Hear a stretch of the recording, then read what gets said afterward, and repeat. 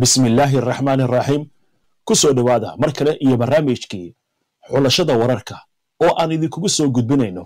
Wararkii iyo dhacdooyinkii ugu dambeeyey ee caalamka ka dhacay saacadihii la soo dhaafay ilaa iyo daqiiqadan.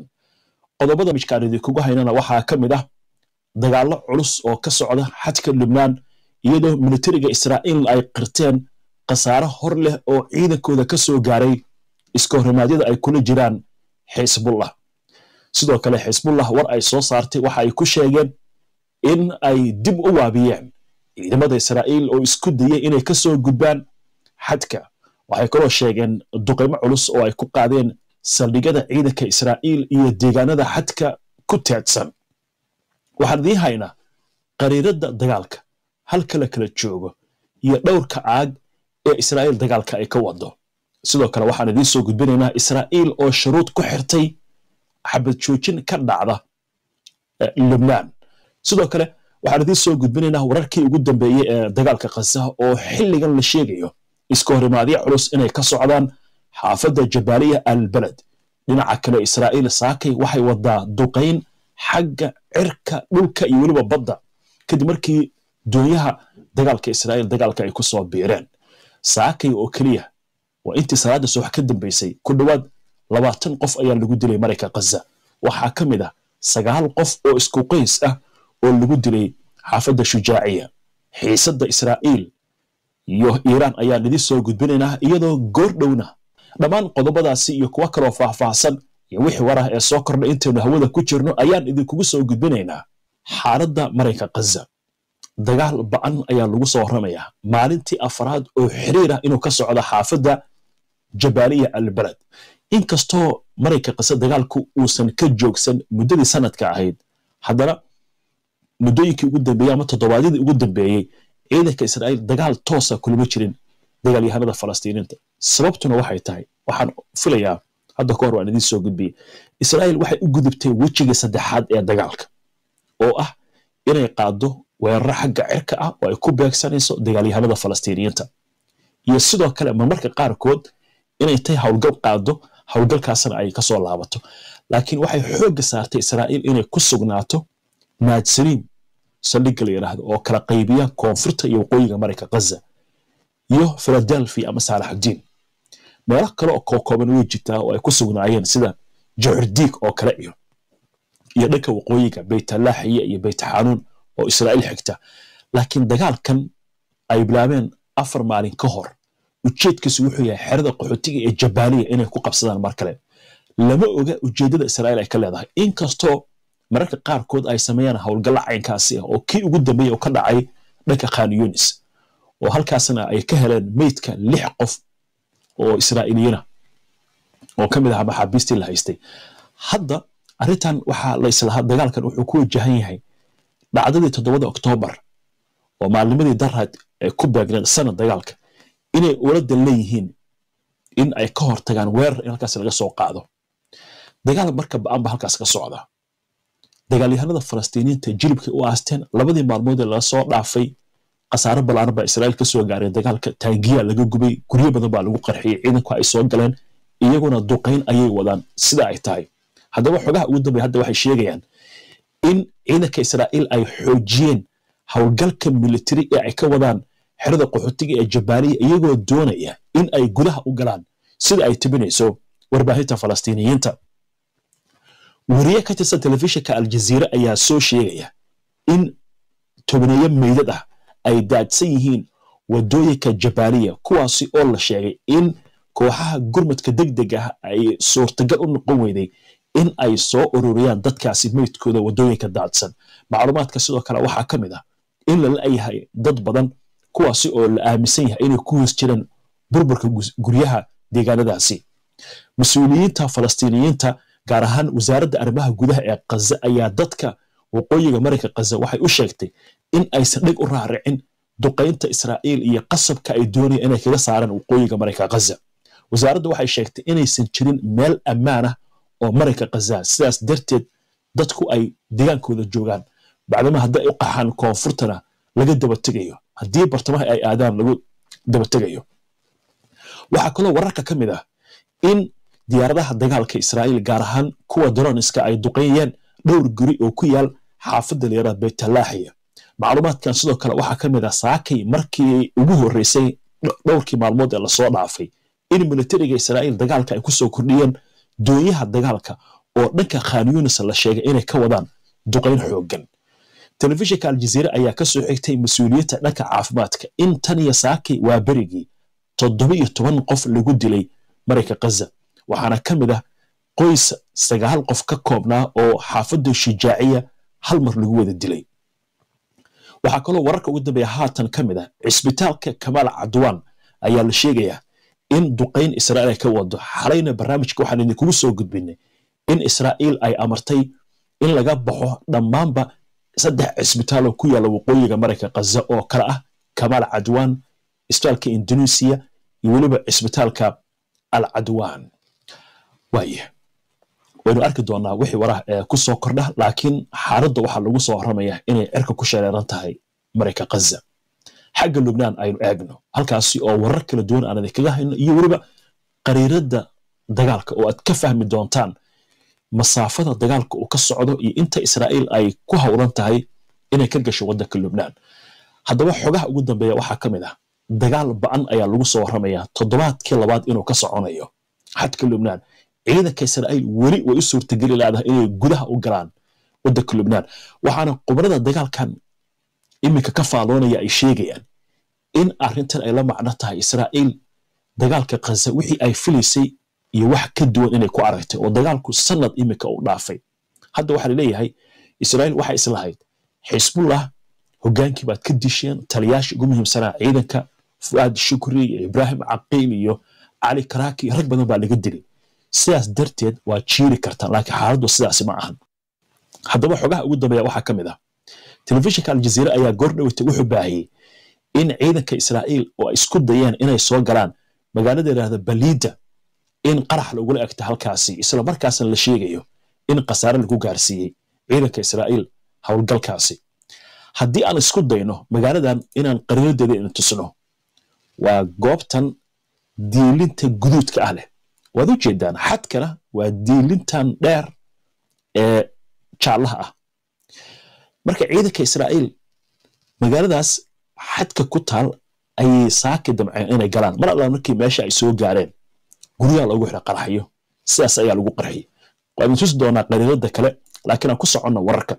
Xisbullah sidoo kale waxay sheegeen in ciidanka israa'iil oo sheegtay in maaruun al ras ay ka taageen calanka. Sida uu sheegay wasiirka tamarta ee israa'iil eli cohen in halkaasna khasaare ballaaran ku gaarsiiyeen oo weliba ay ku qasbeen ciidanka israa'iil halkaasi inay iskaga baxaan. Waxaan rabaa marka inaan idin tusno maaruun al ras maaruun al ras waad u jeedaan tan waan tusi doonaa. Tan waa magaalada kale. Maaruun al ras waa halkaana hoose. Markii hore dagaalku waxay isku dayeen baliida. Baliida waa kor. Laakiin maaruun al ras waa magaalo caan ku ah xitaa dagaalkii labadii kun iyo lixdii. Marka dhankan hoosey ku taal ayadana dagaal culus baa ka dhacay ciidanka israa'iil soo warray soo dhigeen baraha bulshada oo calankooda ay ka taagayaan meesha laakiin lama xaqiijin karo xisbullah laakiin waxay leedahay waxaan ku qasabnay ciidanka israa'iil halkaas. Sidoo kale inay ka laabtaan. Waayo. Sidoo kale xisbullah waxay sheegeen in madaafiicda goobta iyo hoobiyaal iyo gantaalo inay ku garaaceen ciidanka israa'iil oo sidoo kale soo galay magaalada la yidhaahdo labuna aanan tusnay marka labuna markii hore dagaalku wuxuu ahaa dhanka midigta hadda laakiin waxaad u jeedaan dhanka bidixda. Labuna marka waa xeebtay saaranta. Saddex jihay marka ciidanka israa'iil ka socdaan sida aad u fahamtaan qariiradda waa dhankan labune maaruun arraas oo dhexda ah iyo dhinaca kore oo baliida ah.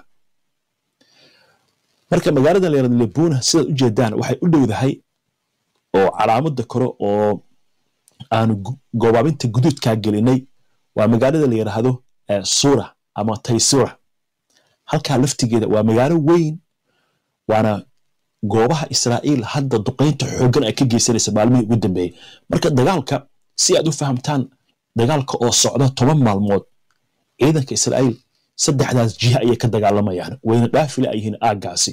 Waxaa la islaa oo kale ciidanka israa'iil waxay gaari doonaan meelo fog ha noqoto marjawaayin iyo meelo kale inay gaari karaan laakiin dagaalku waa ku adkaanaya sida muuqata ciidanka israa'iil waxaana loo yeeray ilaa iyo afar guuto oo ciidamada israa'iil ka mid ah. Macluumaadka ugu dambeeya sidoo kale waxaa ka mid ah ciidanka israa'iil waxay qirteen in saddex askari oo ka tirsan ciidamadooda ka dagaalamaya xadka lubnaan in dhaawac ba'an uu soo gaaray. Dhimasho ma sheegin laakiin dhaawac ayay sheegteen. Waa sida ciidanka israa'iil ay qirteen. Dhinaca kale wararka hadda soo baxaya waxaa ka mid ah deegaanka la yirahda mutella oo ay ku yaalaan saldhigyo military oo ciidanka israa'iila ayaa waxaa laga maqlay qalabka digniinta ka bixiya gantaalada xisbullah sidoo kale waxay wacad ku mareen in ay kordhin doonaan duqaymaha ay ku hayaan magaalada xayfa iyo magaalooyinka kale ee ku yaalla waqooyiga israa'iil. Waaya haddaba saacadihii ugu dambeeyey waxaa soo baxay war sheegaya in israa'iil shuruud ay ku xirtay dagaalka inay joojiso. Waxaa la leeyahay faransiiska ayaa wuxuu wadaa heshiis xabad joojin ah oo dagaalka lagu joojinayo lubnaan weeyaan marka xisbullah waxaa laga doonayaa oo lagu qasbayaa in ay ka tanaasusho dagaalka inay isku xirto dagaalka lubnaan iyo dagaalka ka socda marayka kaza xasan nasrullah hore wuxuu u istaagay dagaalka kaza marka la joojiye anaguna joojinayna duqaynta. Dadka israa'iiliinta ku soo laaban karaan waqooyiga waqooyiga israa'iil.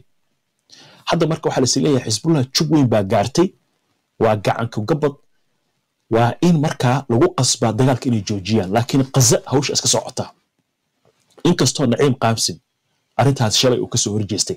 Haddaba ilawareed dhanka diblomaasiyadda ah ayaa waxay la hadleen telefishinka alcarabiya waxaana loo sheegay in faransiiska iyo israa'iil ay ka wada hadleen xaba joojinta.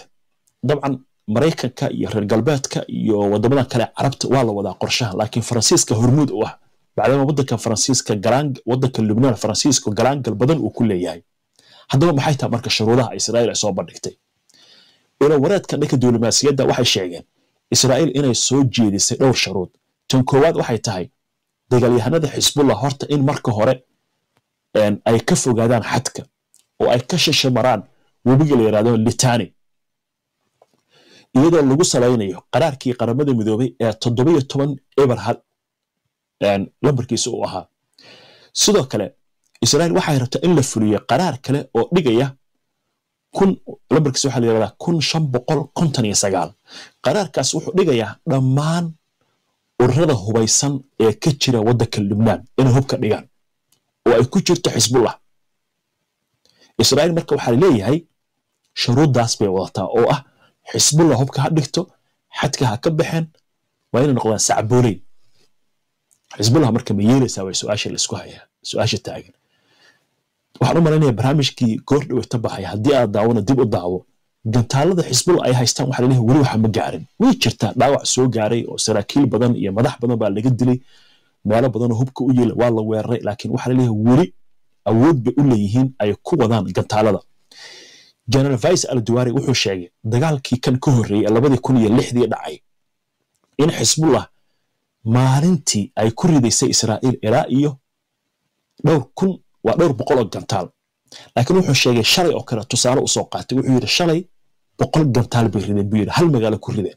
Marka wuxuu leeyahay weli waxaa dhici karta inay dhaqaalaysanayaan oo beekhaaminayaan gantaalada laakiin weli awoodoodii gantaalada way jirtaa baa la leeyahay dhanka dagaalkana waynu arkaynaaba saddexdan aaga hadda aanan tusanay qariiradii in ciidanka israa'iil dagaalku ku sii adkaanayo. Waaya aan ku soconna marka sheekadan faransiiska marka israa'iil wuxuu uga hanjabay waa sida ilawaraadka diblomaasiyadda sheegayaan. Haddii aadan joojin dagaalka aad ka wada lubnaan falastiin baan aqoonsanaynaa oo waxaan ku biiraynaa waddamada kale ee yurub ee aqoonsaday dowladda falastiin ay leedahay sida sbain iyo norway iyo ireland ama slovenia. Faransiiska marka digni bay siisa israa'iil. Waxaa leeyahay waxay ugu hanjabtay haddii uu aqoonsado falastiin oo dowlad u aqoonsado in israa'iil ay diidi doonto gebi ahaanba in faransiiska ay kala shaqayso arrimaha waddanka lubnaan. Macnaha waxa weeye wax xaramnaha ka samaynayna lubnaan mana kula xaajoonayna haddii aad aqoonsato falastiiniinta dignitaas ayaa faransiiska loo jeediya oo israa'iil ay jeedinaysaa. Waaya isla wararkanta ina ka bixin waxaa la sheegayaa ciidanka israa'iil inay sheegteen god ama dhufays cabirkiisu uu yahay ilaa iyo toban mitir inay ka heleen xadka lubnaan iyo israa'iil weliba waxaa la sheegayaa dhowr mitir godkaas inuu soo galay xadka israa'iil ama gudaha israa'iil. Halkaas intay ka soo baxaan dagaalyahanada xisbullah weerarada ay ka fulin jireen. Marka waxaa leeyahay godkan waxaa laga helay meel u dhow marwaaxiin. Waxaana la aaminsan yahay in godkan ilaa iyo toban mitir uu dhan yahay waa si hadalka loo yiri waa hagaag. Waan arki doonaa wixii waraa arrimahan ay ku soo kordha. Waa hagaag xiisadda iiraan iyo israa'iil baynu markaan eegaynaa. Halkaasi oo lagu soo warramayo in goor dhow wadahadal qadka telefoonka ay ku yeelan doonaan madaxweynaha waddanka maraykanka joe biden iyo ra'iisul wasaaraha israa'iil benjamin netanyahu. Khubarada ka faaloota arrimaha bariga dhexe waxay leeyihiin wadahadalkan waa kii go'aan looga gaari lahaa duulaanka israa'iil ee qorsheynaysa inay ku qaadda iiraan. Xaray waxaan idinkugu soo gudbinay barnaamijka qubanaha israa'iil inay ka labalabaynayso duulaan keligeed ay qaado bacdama aysan awoodin waxyeello weyn inay gaarsiiso iiraan. Taa beddelkeed ina iiraan laga yaabo dharbaxa adag inay ku dhufato. Marka waxay doonaysaa baa leeyahay israa'iil in maraykanka ay kaashato oo mar dharbaxa culus lagu dhufto iiraan. Marka madaxweyne biden waxaa la sheegayaa wadahadalkan in uu mowqifkiis ku caddayn doono. Horey wuxuu u sheegay israa'iil inay xaq u leedahay inay ka jawaabto duqayntii kowdii bishan iiraan ay ku qaaday israa'iil. Laakiin uusan ogolayn in la duqeeyo xarumaha shidaalka laga soo saaro iyo xarumaha tamarta laga dhaliya ee nuclearka ee iiraan. Laakiin netanyahu arrintaas ma doonayo. Wuxuu doonayaa marba haddii tallaabo uu qaadayo iiraan inuu xanuujiyo. Iiraan waxaa la leeyahay dhinaca kale awood ballaaran ayay hadda leedahay. Barnaamij baan ka diyaarin doonaa idiin soo gudbin doonaa goor dhow oo ku saabsan waxa ay u baahan tahay israa'iil inay weerarto iiraan. Nuuca gantaalada u baahan tahay diyaaradaha u baahan tahay iyo inta diyaarada u baahan tahay. Barnaamijkaas gacantan ku haynaa waan idiin soo dayn doonaa laakiin waxaa leeyahay marka wadahadalkan wuxuu noqon doonaa kan go'aanka looga gaari doono oo ah israa'iil keligaa dagaal ma gelaysaa waa aadi kartaa aniga ma gelayno. Waxay u badan tahay baa leeyahay. Maraykanku inuu yidhaahdo waan idin taageeraynaa laakiin dagaalka anoo ka qayb geli mayno sababtoo ah maraykanka si cad bay iiraan ugu sheegtay. Haddii dagaalkan aad soo gasho iyo cid walba oo israa'iil ku gacan siisa weerar iiraan lagu soo qaado annaguna tallaabaan ka qaadaynaa bay leeyihiin marka maraykanka waxaa la leeyahay danihiisa gobolka bariga dhexe ayaa laga yaabaa saamey inay ku yeelato arrintaasi. Arrinta marka iyadoo israa'iil maraykanku uu leeyahay xaq bay leeyahay inay isdifaacdo oo ay ka jawaabto weerar ayuu haddana aaminsan yahay netanyahu inuu doonayay maraykanka inuu ku soo jiido dagaal. Maraykankuna xilligan dagaal diyaar uma aha baa la leeyahay waa si hadalka loo dhigayo. Waay haddaba maxaa ugu dambeeya marka wararkan? Waxaa la leeyahay saacadaha soo socda ayaa qadka telefonka waxaa wadahadal ku yeelan doona madaxweyne biden iyo ra'iisul wasaaraha israa'iil benjamin netanyahu. Wadahadalka labada nin ayaa waxaa la sheegay inuu yahay mid go'aan looga gaari doono. Dagaal iiraan lagu qaado oo israa'iil ay qaado iyo xaaladda iminka ka aloosan lubnaan iyo gaza. Shabakadda leedaha axios ayaa waxay ka soo xigatay mas'uuliyiin maraykan ah oo sheegaya in netanyahu saacadihii ugu dambeeyey uu qaatay go'aanka ku aadan weerar ballaaran oo lagu qaado iiraan. Israa'iil ay ka go'an tahay taas inay samayso waxaana ka mid ah in la weerar xarumaha dhanka militariga iyo weliba xarumo kale. Shabakadda bloomberg ee laga leeyahay maraykanka ayaa sidoo kale waxay soo tibinaysaa in saacadihii ugu dambeeyey aqalka cadiga waddanka maraykanka ay ka socdeen wadaxaajoodyo ku aadan wadahadalkan dhex mari doona biden iyo netanyahu waxyaabaha xoogga lagu saari doono. Waxaana la sheegay tan inay noqon doonto midda go'aanka loo gaari doono xadka uu yeelanayo weerarkan aargoosiga ee israa'iil la filayo inay qaado shabakadda axios ee maraykanka laga ayaa sidoo kale waxa intaasi ku dartay in israa'iil ay rajaynayso iiraan in marka ay weerar qaado iiraan sidoo kale ay ka soo jawaabi doonto. Taa beddelkeedii markaa waxay doonaysaa baa leeyahay israa'iil in ay qaado waa si hadalka loo yiriye weerar culus oo iiraan keeni kara xitaa jawaabta ay bixin karta inay daahi karto. Xaaladdu marka halkaasay maraysaa. Iiraan dhankeeda xalay warbay soo saartay mar kale ku celisay. Israa'iil haddii ay isku daydo inay tallaabo kala qaado xaaladdu ku adkaanaysaa maraykanka marka waxaa laga yaabaa inuu u soo jeediyo hawlihii awalba aa wadateen oo dadka ka dili jirteen saraakiisha iyo generaalada militariga iyo howlaha khaarijinta wixiina iska wata. Laakiin anaga dagaal hana gelinina inuu yiraahday u badanta laakiin waan idiin soo gudbin doonaa wixii go'aanka